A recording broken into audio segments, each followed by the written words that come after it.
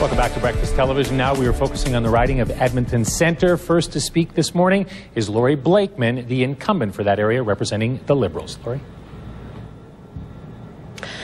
Good morning, everyone. My name is Laurie Blakeman. I'm running for re-election, and I'm your Alberta Liberal candidate.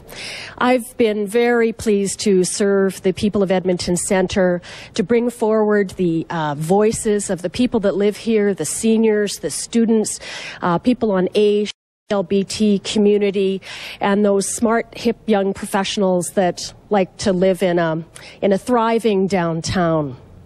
So the issues that have been coming up on the doors um, that we would like to address on their behalf are things like housing and rent control, uh, the environment and managing oil and gas development, seniors issues, post-secondary education uh, and student debt, healthcare, of course, and childcare.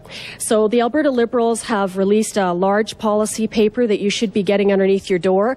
If you don't get it, let me know, or go to my website at laurieblakeman.ca. Thank Thank you so much, and I hope you can support me in the upcoming election. Thank you very much, Laurie.